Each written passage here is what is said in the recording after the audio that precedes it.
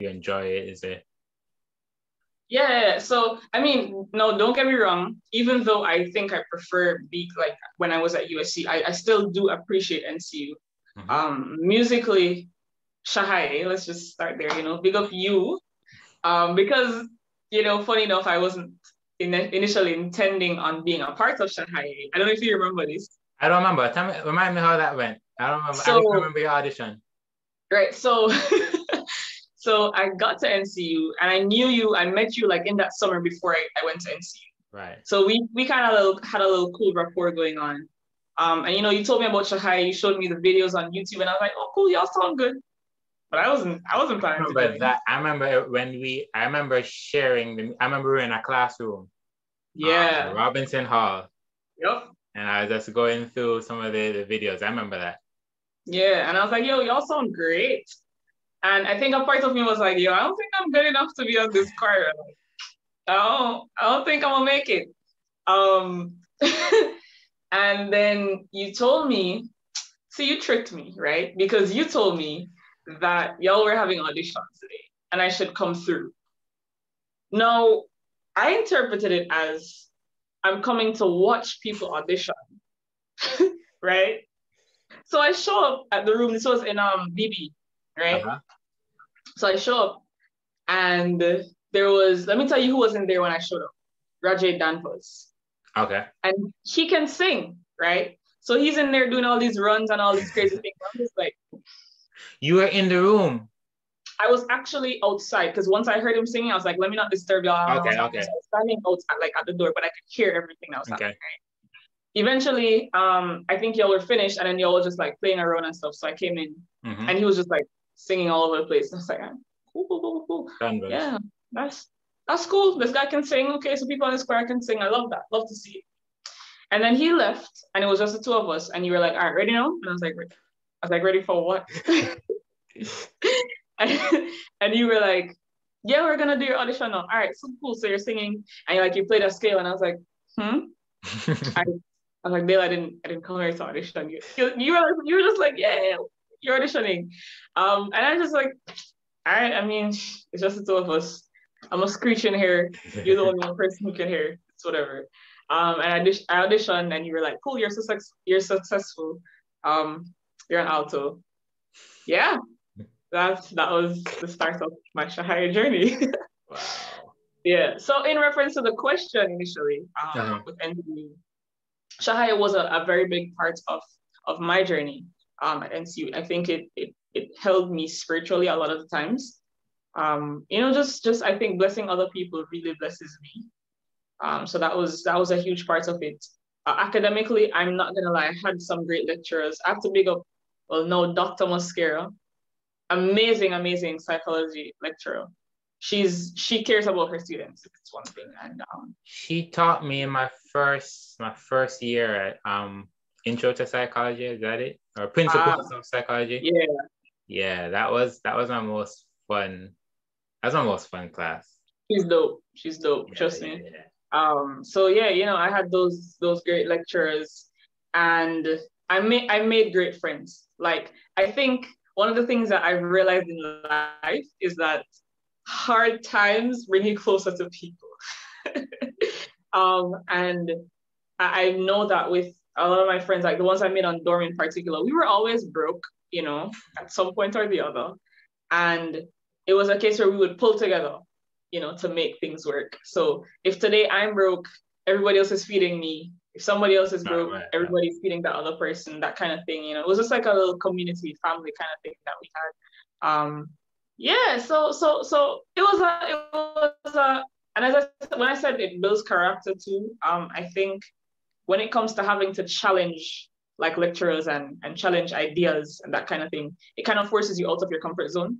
And um, it helps you to kind of be able to, for me at least, stand my ground more when it came to certain things. So, yeah. Gotcha, gotcha. All right. So we meet. We meet 2016, right? I'm a choir director. Um, I trick you into the choir and thing and thing. at some point you didn't like me. right. right. Right. Tell, talk to me about that. yes, you didn't okay. like Dale. Why is that? All right. Um. So. So you were talking to a friend of mine, uh-huh. right? Uh-huh. Um, uh-huh. we, were, we were best friends at the time, and some of the stuff that she would tell me just gave me like Dale is Dale's not a he's not a good guy, right? um, and I think what happened was to I mean she's my best friend, so you know like her word is her word. I'm not really trying to hear nothing else, you know. Period. Um, at least that that was my thinking at the time, right? Um, and I was just like, yeah, so Dale is Dale is trash. I'm not really trying to be friends with this guy. Um, and I I I think I was in a period too where I was having a lot of like mistrust for people. Um, trust was a really hard thing for me. So I was like, yeah, I'm not really trying to trust nobody anyway. So perfect reason not to, pretty much. Um, and I guess there were, you know, there were a lot of like rumors around campus about you as well. And I was just like, yeah, better not to associate myself, you know? Um, so I, I started avoiding you I really like I intentionally avoid you, you know, choir practice, I'm there. Um, if I was late and he talked to me too rough, I'm like, yeah, this dude. um, uh, but yeah, outside of choir practice, like that was it. We like we really didn't have any interactions. Um, I remember there was this one time I almost said something to you. We were at uh what was that thing? Deep Deepage or something like that, it was called. Uh-huh that, that poetry art. Poetry thing. And Shahai was supposed to sing that evening. And I remember, I actually remember that scenario very well. You chose a song. I don't remember what song it is now. Let you chose a song. And yes. Uh-huh. And I was like, why are we singing that at this event? I just feel like it doesn't fit. And a, a couple of other choir members were like echoing the same sentiment. Mm-hmm. So I came to you Wow, that was wild. I came to you and I was like, yo, so why why are we singing this? Like, why not like one of the other songs? And you were like, yeah, because it fits. And I like at the time you, I felt like you were just like very like egotistical because you're just like, yeah, it, it fits, so we're singing. I was like, I like, you don't even go hear what I'm gonna say. Um, and we had a little bit of a, a, back and forth, and then I was just like, "It doesn't make no sense because we sing the song anyway, so whatever, right?" Um, and that was the start of the event. At the end of the event, we were talking, it had ended, and there was a group of us standing there talking. And I was making a comment about musicians and poets. I remember very specifically. I was mm-hmm. saying mm-hmm. musicians and poets, those guys tend to be trash or whatever, right? Said some something to that effect. And like you heard me. I don't know, I don't remember if you were in the conversation or you were just like really close to us, but you heard me and you were like, yo, I'm both of those things. What do you mean? And I don't remember exactly what I said, but I made a very snide remark. I was like, well, yes, like proves my points or something like that. Um, and I think you asked me like, yo, what was that about? Or I don't know if you asked me on spot or if you texted me after and you're like, yo, what? what was that? Um, and then we eventually got to talk that night. We met up at J Hall. Mm-hmm. Um, yeah, it wasn't the same night. It wasn't, Nah, it was actually probably like some months after actually. Yeah. yeah. Um, because I was still avoiding you because I knew you wanted to talk about it, but I was just like, no, I don't have nothing to say to this guy. um, but then I was like, you know, let me let me actually talk to you, like hear what you have to say or whatever. And we actually before we move on, before before we go to that night. So yeah, as a director, like sometimes sometimes I just had like, all right, so I've gotten so used to being doubted, mm. kind of being second guessed, right? To the point where it's annoying. Even if, even if like, even if you, just you hypothetically, didn't like cross the line or anything, it mm-hmm. just piled on to all this doubt and second guessing. So it's just like my my natural thing was just like shut it down, like like it fits. No, what I talk about. And I feel yeah. like I feel like a lot of the time. All right, so Shahaya for me, the spirit of Shahaya is out of the box, right? Like naturally, when I'm not trying to do what's expected, I'm trying to do something that fits and works, but not in the way you'd expect it, right? Mm-hmm. um, I didn't always do the best job of like selling that to the members for them to buy in. Right. My mindset was they should buy in because I'm the director and I'm, I'm like, I'm like saying whatever. Or is a mixture of that and kind of, why don't you see it this way? Like, dog, mm. like, that kind of thing. And kind of annoyed, annoyed at persons wanting to be in the status quo. But the status quo is what people naturally do. So if I right. want to be outside of it, like I have to sell them on that. Yeah. Um. So yeah, and then your comment, that was when I was uh. So for most of my university experience, matter of fact, all of my university, because that meltdown episode was after graduation. So all my university experience, um, and we'll talk about that another time. Um, it was two. There are two Dales, right?